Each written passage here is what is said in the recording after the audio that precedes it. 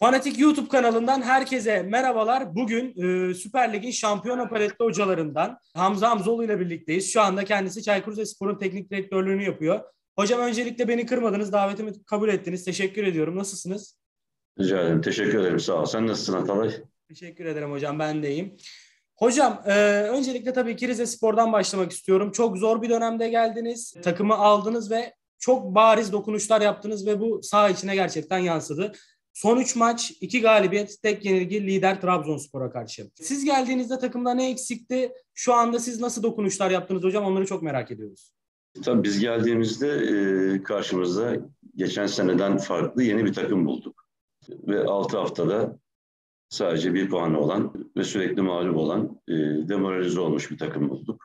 Tabii bu süreç e, negatif olması çok normaldi bizim için baktığımızda.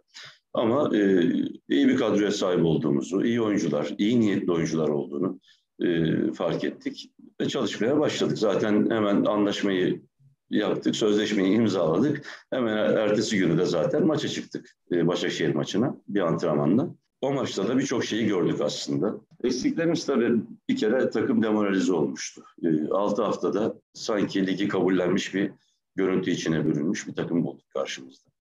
Tabii o işler kötü gittiğinde herkes e, kendini düşünmeye başlar. Yani Tamam, o bu işten ben nasıl sıyrılırım?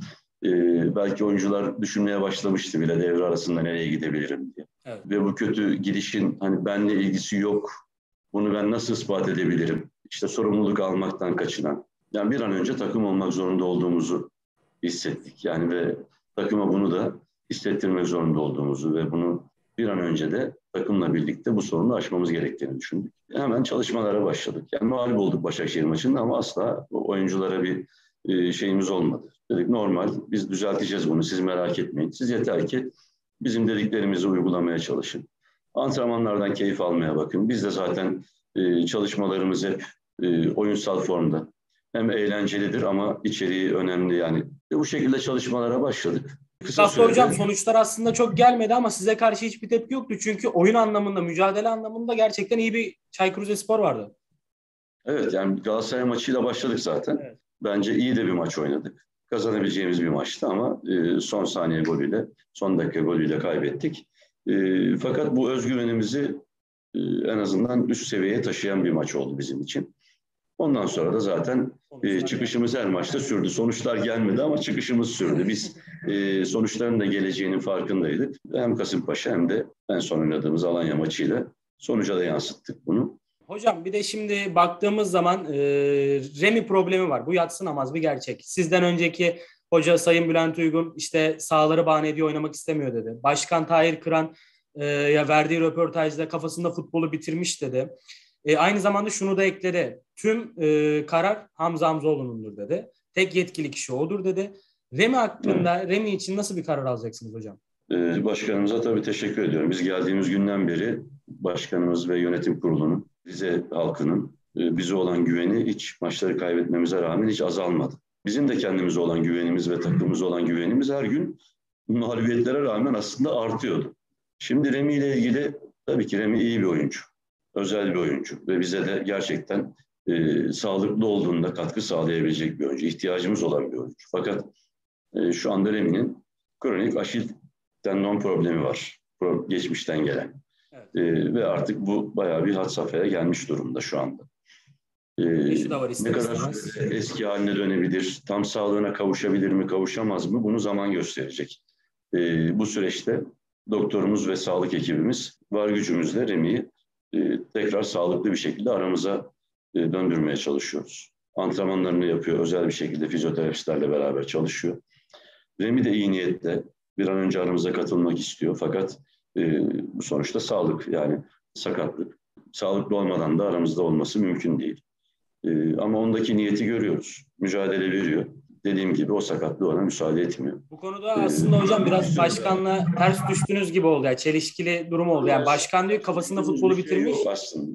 Evet. e, başkan tabii o pencereden baktığınızda öyle görebilirsiniz bazı şeyleri. Bir de bu taraftan da bakmak gerekiyor. Zaten biraz daha belki Remi ile ilgili bir mücadele vereceğiz.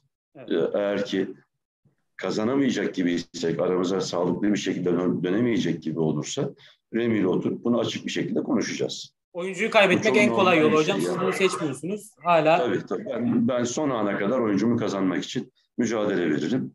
Oyuncum da veriyor. Bunu da görüyorum. Ama e, bir şeyler olmuyorsa da e, çok fazla da ısrar etmenin bir an, mantığı yok, anlamı yok.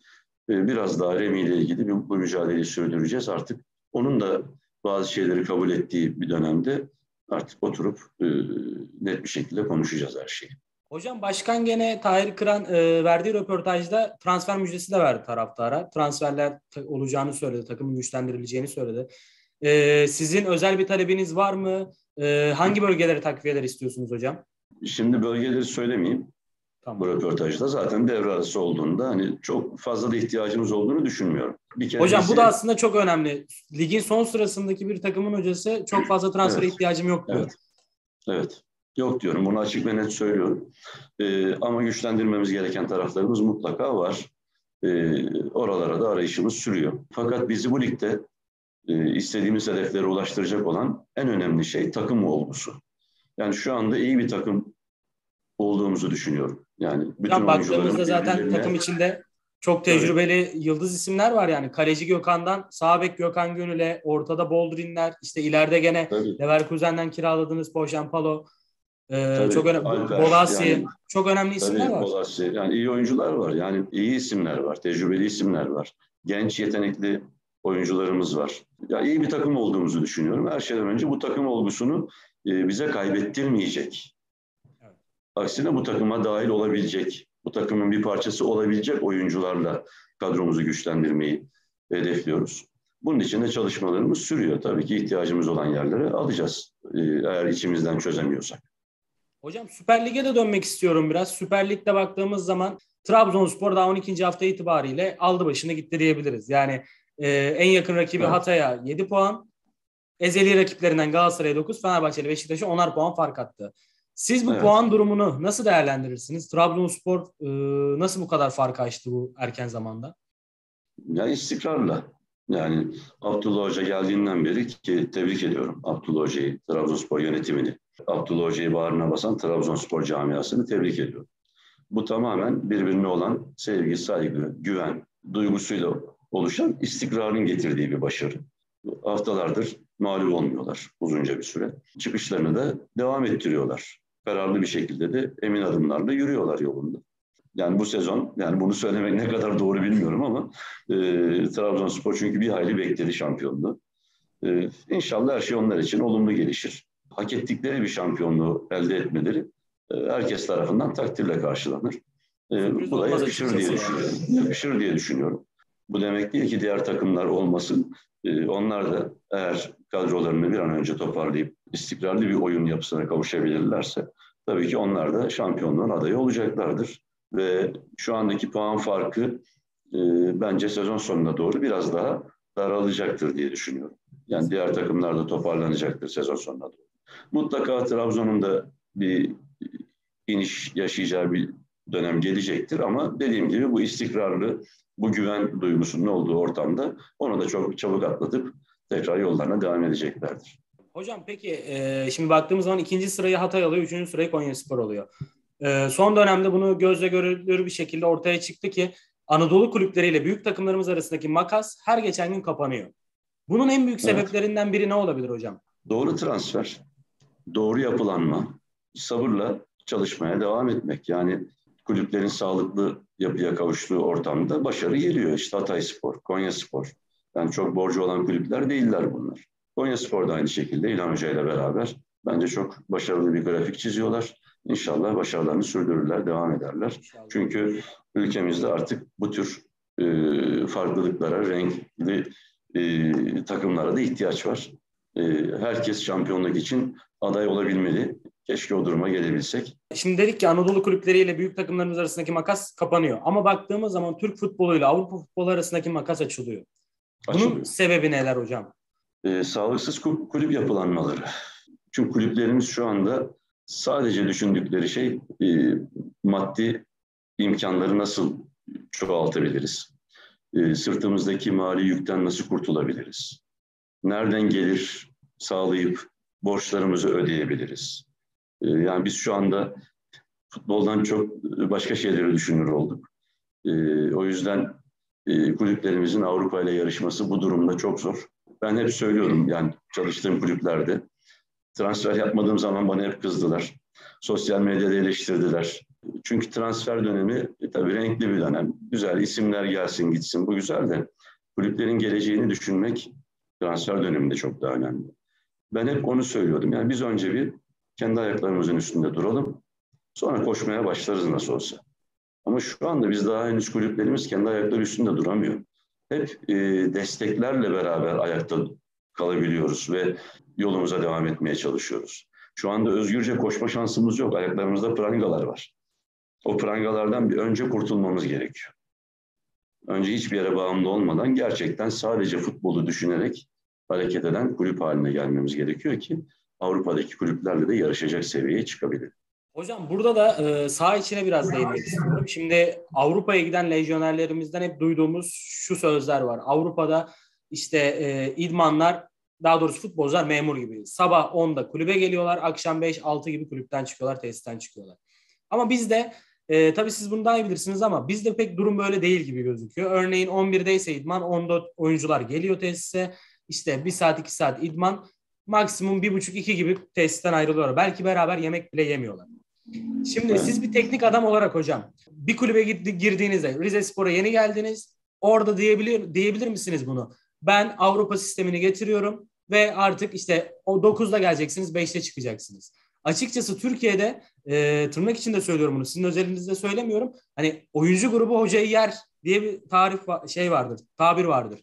E, siz bir teknik adam olarak bunu düşündünüz mü daha öncesinde ya da bu konu hakkında ne düşünüyorsunuz? Böyle bir çalışmalarınız var mı? Nedir durum hocam? E, zaten oyuncu grubu hocayı yiyebiliyorsa o kulüpte sağlıklı bir yapılanma yoktur. Eğer hocayı yediriyorlarsa oyuncuya yönetim ya da o şehir, o camia o zaman zaten orada sağlıklı bir yapı yoktur. O kulüp başarısız olmaya mahkumdur. Onu söyleyeyim bir. Evet. E, iki, tabii ki biz ne dersek, hangi programı yaparsak oyuncularımız uymak zorunda.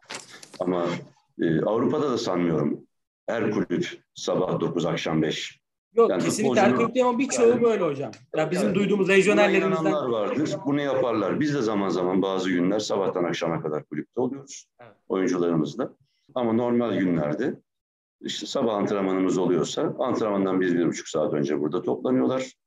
İşte hazırlıkları olanlar, sakatlı olan, bandajını yaptıracak olanlar yaptırıyorlar.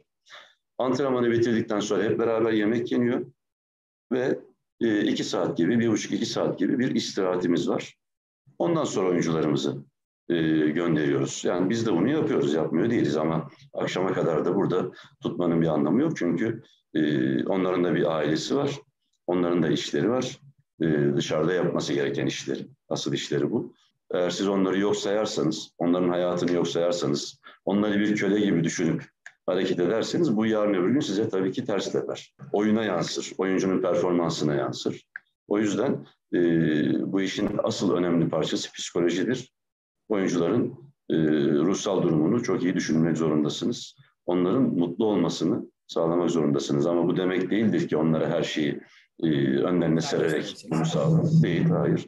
Disiplinli bir şekilde işinizi ciddi yapmak da onları mutlu eder. Bunu unutmayın. Avrupa'da artan her geçen gün artan Türk futbolcu grubuna sahibiz. Ama A takım düzeyinde Avrupa'da hocamız yok. Bu zamana kadar neden gönderemedik? Bundan sonra gönderebilir miyiz? Ee, bundan sonra gönderebiliriz. Buna inanıyorum. Ee, yeni gelen jenerasyonda hem yabancı dil bilen hem e, Avrupa görmüş e, hocalarımız var. Hoca arkadaşlarımız, kardeşlerimiz var. İnşallah onlarla bu kapıyı da açıp aralayacağız. Peki ben hocam şey soracağım. En yakın, gitmeye en yakın isim Avrupa'ya. Bilemem. Bir isim veremem şu anda. Çünkü Kime ne zaman şans gülecek bilinmez. Ee, ben de çok istiyorum Avrupa'ya gidip çalışmak. Bu konuda çalışmalarınız var mı? Ya küçük çaplı da olsa sürüyor. Evet. Var, çalışmalarım var. Ee, öyle bir fırsat yakalarsam da gitmek istiyorum. Çünkü hem kendimi orada görmek, hem Avrupa futbolunu daha yakından, işin içinden yaşayarak öğrenmek ve belki 3-5 sene orada çalışıp ondan sonra ülkeme dönüp çok daha donanımlı bir şekilde ülke futboluna hizmet etmek istiyorum. Özellikle ee, istediğiniz bir lig? Yani Almanya, İspanya, İtalya olabilir. Fark etmez. Hepsi benim için farklı bir tecrübe getirir. Şimdi biraz da Galatasaray dönemine dönmek istiyorum aslında. Üç kupa kazandınız.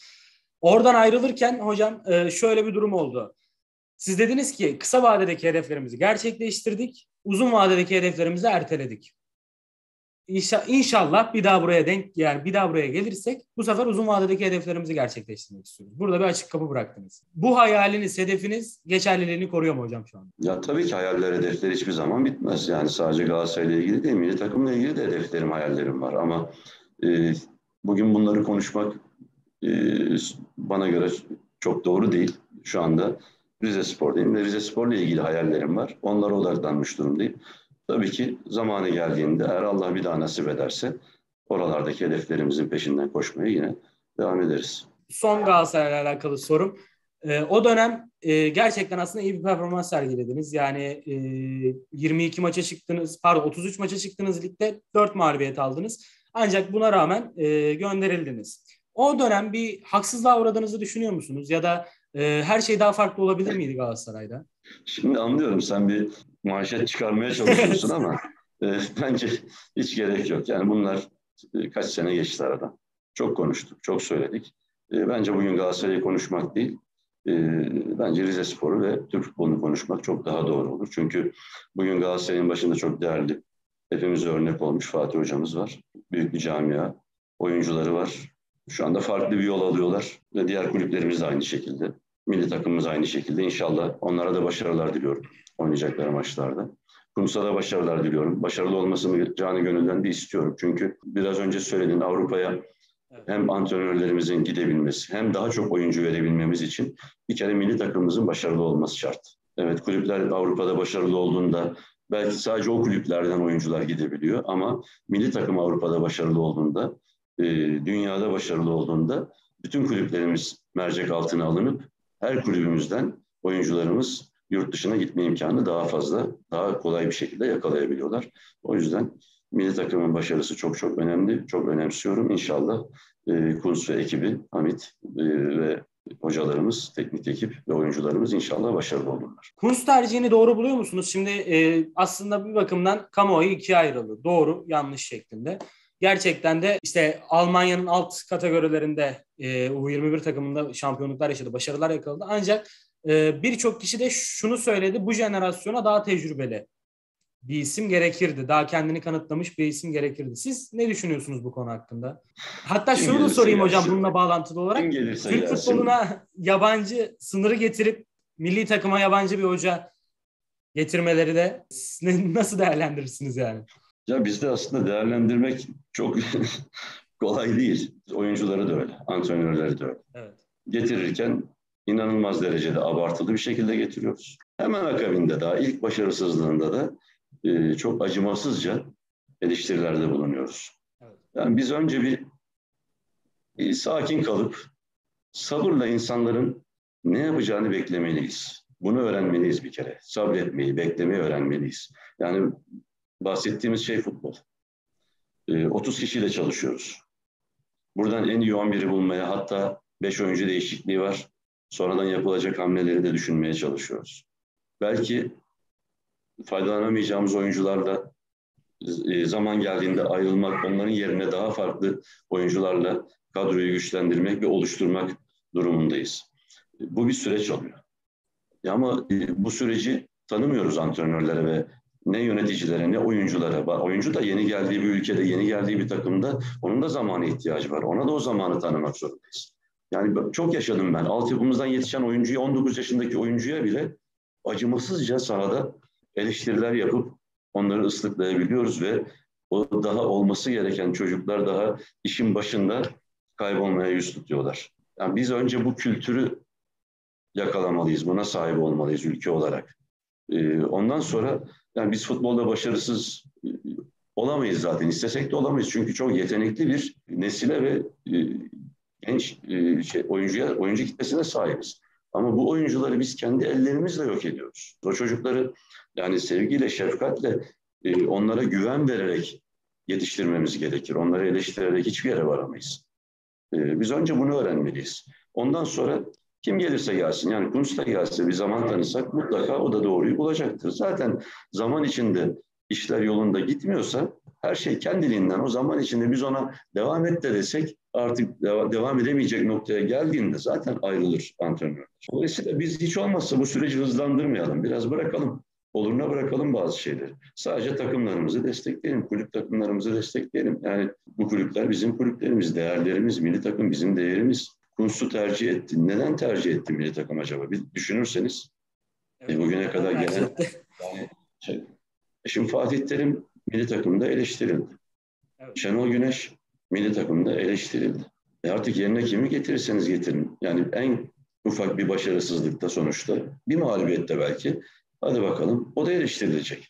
E, federasyon yönetimi de tabii oturup düşünüyor. Yani bir yerli hoca alsak sosyal medya yıkılıyor, gazeteler yıkılıyor. Eleştir, yani yorumcular inanılmaz şekilde eleştiriler yapıyor. Tabii ki eleştiri olacak. Buna da ihtiyaç var ama e, yıkıcı şekilde olmaması lazım eleştiri. Saygı çerçevesi içinde olmalı. Eleştiri bu işin temelinde var. Yani herkesin bir fikri var çünkü futbolla ilgili. Mutlaka bizim yaptığımız, doğru düşündüğümüz e, şeyler bir başkası için yanlış olabilir. Bu çok normal. Futbolun güzel tarafı bu zaten. Fikirler farklı farklı. O yüzden e, en azından bir yabancı hoca getirirsek bir süreliğine eleştiri almayız diye düşünmüş olabilirler mi sence? Yani biraz bu yönünden bakarsak biraz da biz mecbur tutuyoruz yabancı tercihini. E, Dünya Kupası'na gider miyiz hocam? Gideceğiz inşallah. Ben inanıyorum. İnşallah Gidebiliriz. Hocam. Hocam e, benim uzun sorularım e, bu kadardı. Kısa kısa şimdi sizden böyle bir iki kelimelik ya da e, maksimum tek cümlelik cevaplar istiyorum. Çok fazla gene zamanınızı almayacağım. E, çalıştığınız en profesyonel futbolcu desem hocam? Yani Selçuk, Hamit, Wesley, Melo. Ya onu tabii Muslera, Umut. Ee, peki hocam içinizde ukde kalan bir şey desem antrenörlük kariyerinizde? Ukde kalan bir şey yok ama e, tabii ki hedefler var. Yani belki çok zor ama neden olmasın yani bir Şampiyonlar Ligi şampiyonluğu, Dünya Şimdi Kupası. onu soracaktım. En büyük hayaliniz ve hedefiniz hocam. Ee, belki çok uzak gibi görünüyor şu an için baktığımızda ama eğer doğru işleri yaparsanız imkansız diye bir şey yok. Hocam Bunu peki yabancı sınırı hakkında ne düşünüyorsunuz? Asıl düşüncem ben sınırlamalara karşıyım yani. Sınır olsun istemem ama e, kendi sınırlarımızı çizebilecek yeterliliğe de sahip ol, olmamızı beklerim. Şimdi yabancı sayısı serbest olsun. Çünkü ya 14 verdi diye 14 almak zorunda değiliz. Ya 14 ama 3 tane de de oynayabilmelisin. Evet. Anlayabiliyor, anlatabiliyor muyum? Yani evet. e, bu sınırları kendimiz çizmeliyiz. Kulübümüzün imkanları, yarıştığımız pozisyon, yani Şampiyonlar Ligi'nde mi oynayacağız? Yoksa sadece Türkiye Ligi'nde mi oynayacağız? Kupa maçlarımız var mı? Yani hedefimiz ne? Yarıştığımız evet. platform hangisi? Buna göre bizim kulübümüzün imkanları bize neler sağlayabilir? Yabancı oyuncuların maliyetleri bizim almamıza yeterli mi, değil mi? Yani evet. borca girmeden o kulübü nasıl çevirebiliriz? Yerli oyuncu varken niye yabancıya ihtiyaç duyalım mesela? Oyuncu yetiştirmeye çalışalım. Yani ben bunlardan yanayım. Sınırlar olmasın. 8 oyuncu işte kulübede 4 tane, 3 tane bilmem ne. bu hesaplamalar bana çok yani gereksiz geliyor. Eğer bir sınır koyulacaksa e koyun 8 tane deyin ya da 10 tane deyin ama 10 tanesi de oynayabilirsin. Oynayabilirsin. 8 tanesi de oynayabilirsin ama 9. ile anlaşma yaptırmayın. Yani işte yok genç olsun, yaşlı olmasın. Yani bu sınırlar olmaz futbolda. Sonuçta sahada biz e, bir şey görmek istiyoruz. Yani iyi futbol görmek istiyoruz. Bunu e, işte dün gittim İbrahimovic seyrettim. Yine 40 yaşında hala sahada dimdik ayakta duruyor, mücadelesini veriyor ve doğru pozisyonlar, doğru futbol oynuyor. Trabzonspor'da Ahmet Ağlı e, yönetime yeni geldiği zaman demişti ki işte İran, Gürcistan böyle komşularımızdan da aslında e, oyuncular getirebilmeliyiz. Zaten hem kültürümüze bize yakın insanlar hem de buraya daha çabuk evet. adapte olurlar demişlerdi. Ee, evet. Bu size göre doğru bir politika mı? Şimdi Gürcistan'a gidiyor. Tabii haklılık payı var. Gürcistanlı yani bizim şimdi Rize'nin, Trabzon'un, Karadeniz evet. e, halkının bir farkı yok. O yüzden e, yani doğru bir mantık, doğru bir yaklaşım. Ama şart mı? Yani şart da değil. Başka yerden de getirebilirsiniz. O da oynayabilir ama bu doğru bir yaklaşım bence. Hocam benim sorularım bu kadardı. Ee, sizin e, son bir söylemek istediğiniz mesaj var mı? Çaykur Rizespor taraftarına vereceğiniz bir mesaj olur. Herhangi farklı yani, bir mesaj olur. Söylemek istediğiniz bir şey var mı? Ya, tabii şimdi taraftarlarımıza hep e, söylüyoruz. Şunu yine söylemek isterim. Şimdi yüzde yüz kapasite de açılıyor hocam.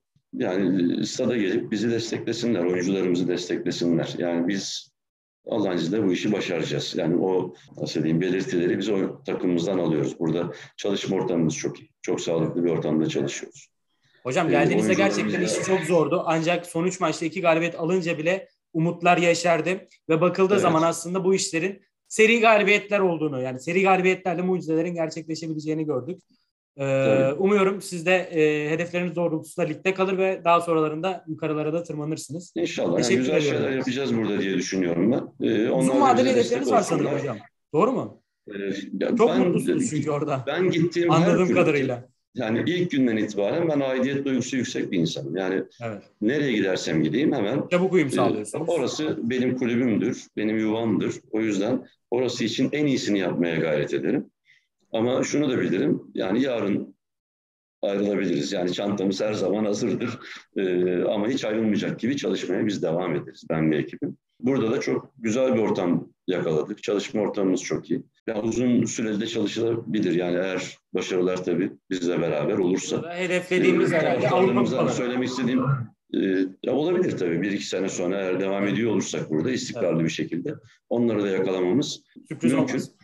e, tabii. Ama şimdi iyi bir çıkışımız var. Mutlaka mağlup olacağımız maçlar da olacaktır. Elbette. Taraftarlarımızdan ricam asıl bize o gün e, destek olsunlar. Çünkü onlara o gün daha çok ihtiyacımız olacak. Onun dışında zaten inşallah başarılı günleri de beraber paylaşacağız. Üzüntüleri de beraber paylaşacağız. İnşallah sezon sonu geldiğinde de hedeflerimize ulaşmış bir şekilde İnşallah. e, yeni hedeflerin planlarını yapmaya başlarız. Hocam tekrardan çok teşekkür ediyorum. Kırmadınız. Ben teşekkür ederim. Benim Sağ için olun. gayet güzel bir röportaj oldu. iyi bir deneyim oldu. Sağ ol, benim için de öyle. Güzel bir Teşekkür sohbet ederim oldu. hocam. Görüşmek üzere. Buradan bizleri dinleyenlere de herkese buradan selamlar, iyi akşamlar diliyorum.